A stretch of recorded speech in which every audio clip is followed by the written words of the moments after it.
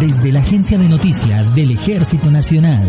Este es el balance operacional de la semana. Balance operacional de la semana.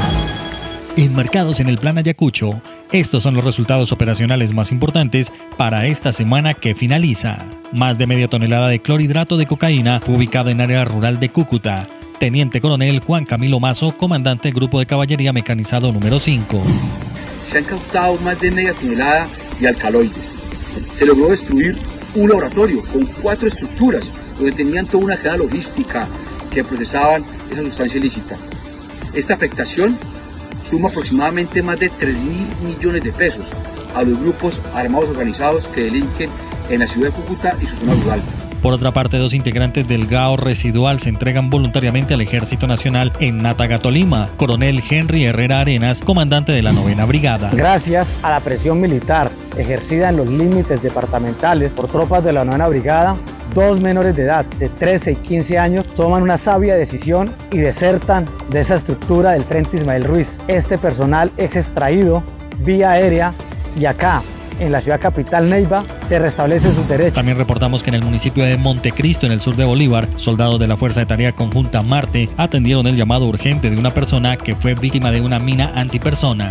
Brigadier General Roger Gómez Herrera, comandante de la Primera División. El Grupo Armado Organizado LN, el Grupo Armado Organizado Clan del Golfo y el Grupo Armado Organizado Residual vienen sembrando minas de forma indiscriminada, violando flagrantemente los derechos humanos y el derecho internacional humanitario en esta región del país. La última víctima se presentó el día de ayer en zona rural del municipio de Montecristo, donde un muchacho de 27 años pierde su pierna izquierda por activación de una mina antipersonal. Tropas del Ejército Nacional desmantelaron un gran complejo para la fabricación de explosivos artesanales en el norte del Cauca.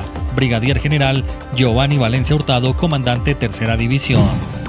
Los soldados de la Tercera División del Ejército, en una operación coordinada junto a nuestra Policía Nacional, neutralizaron uno de los más grandes complejos para la fabricación de explosivos usado por el bloque occidental Jacobo Arenas en el norte del Cauca. Ubicado en zona rural de Toribío, este complejo albergaba 3 toneladas de pólvora, más de 800 granadas y 3.000 tatucos. Por otra parte, el Gaula Militar Norte de Santander, en conjunto con el Gaula Militar Cundinamarca, rescató a una menor de edad que había sido secuestrada en la ciudad de Bogotá. Capitán Leonardo Tinjacá, Gaula Militar Norte de Santander.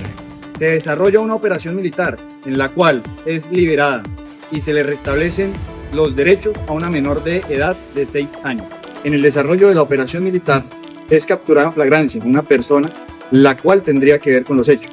Adicionalmente, en esta vivienda son encontradas otras dos menores de edad, las cuales también se les restablecen los derechos, colocándolas a disposición del bienestar familiar. Y por último, atendiendo el llamado urgente de la comunidad, tropas del Batallón de Alta Montaña número 9 de la Novena Brigada prestaron los primeros auxilios a una menor de 9 años que fue víctima de una mina antipersona. Coronel Henry Herrera Arenas, comandante de la Novena Brigada. En una clara violación a los derechos humanos y al derecho internacional humanitario, una niña de 9 años fue víctima de una mina antipersona, sufriendo la amputación de su pie derecho. La niña es evacuada a la ciudad de Neiva y en estos momentos se encuentra en el hospital Moncaleano ya con atención especializada por el personal médico competente. Para más información, visita nuestras redes sociales, arroba Ejército Nacional de Colombia, con el numeral Contundencia Operacional y en nuestra página web Ejército Nacional. Patria, honor, lealtad.